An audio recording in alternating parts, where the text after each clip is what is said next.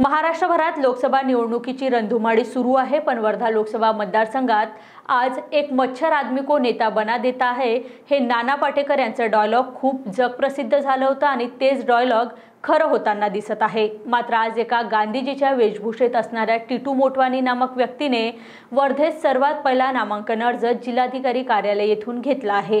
तर त्यांचं नेमकं लोकसभा लढण्याचं कारण म्हणजे मच्छराचा सर्वात मोठा त्रास नागरिकांना होतो आहे. हा मच्छराचा त्रास कमी करण्यासाठी मी लोकसभा निवडणूक लढणार आहे असे देखील गांधीजीच्या वेशभूषेत असणारे टिटू मोटवानी यांनी सांगितले. मी आर्वीतून आलेलो आहे आणि या गांधीची भूमिका मी याच्या अगोदरही आर्वीमध्ये लय डाव केलेली आहे.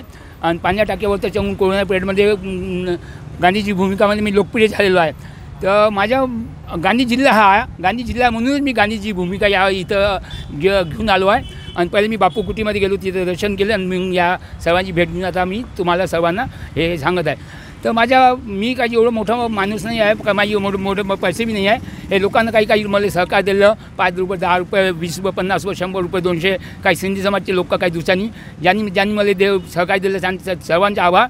आणि ज्यांनी नाही दिलं त्यांचे बी आभार आणि सर्वांचे बी आभार जे माझी निवडली आहे. तर माझ्या कारण हेच आहे की जवळपास वीस समस्या आहेत जे मी पाम्पलेट आता या सर्वांना देणारच आहे जी मी ना जेव्हा मी नामांकन दाखल करणार तर त्यापैकी एक मोठी समस्या आहे डासांची मच्छरची हे दिवस दिवसेदिवस खूप वाढत आहे. यांच्यामुळे लहान लेकरं खूप बिमार पडते आजार पडते कुठं कुठे मरण पावते. यांच्यामध्ये आईवडिलांचे पालकांचे खूप पैसे जाते. डॉक्टरच्या इकडे औषधच्या इकडे माझं म्हणणं आहे का डॉक्टर सरकारने याकडे लक्ष दिलं पाहिजे. वेळेवर फळ फवारे औषध वगैरे टाकले पाहिजे. आणि डासांचे त्रास कमी झाला पाहिजे. आणि बाकीचे समस्या आहेत तर तुम्हाला